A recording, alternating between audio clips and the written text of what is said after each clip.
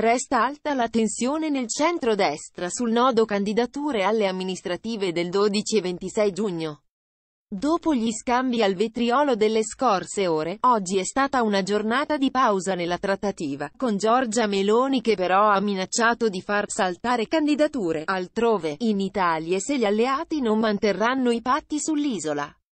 Non ci siamo sentiti, con Lega e Forza Italia, è una giornata non lavorativa ma mi aspetto domani di avere decisioni importanti, dice Ignazio La Russa tra i protagonisti della trattativa per FDI, che ieri aveva annunciato imminenti contatti con gli alleati.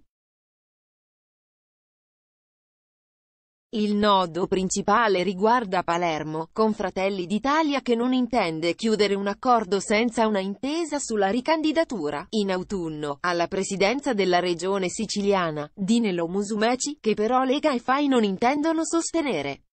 Proprio su Palermo si è consumato ieri uno scontro molto forte con la russa che aveva tuonato contro gli alleati per il lancio, in autonomia, della candidatura di Francesco Cascio.